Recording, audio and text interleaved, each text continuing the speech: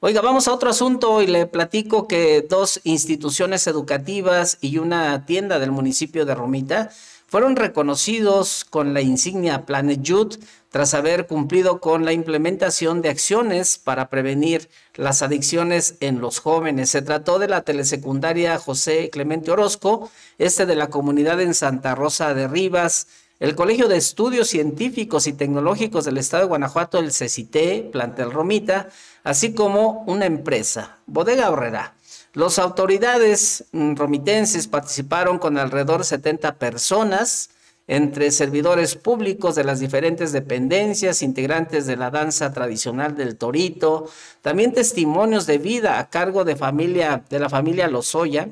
quien, quienes asistieron eh, pues eh, eh, por tres generaciones para dar demostración de cómo, cómo este proyecto ha cambiado su vida. A instituciones de salud como el CAICES, el contingente de Romita participó en eh, la muestra cultural de esta danza del torito tradicional allá del municipio de Romita.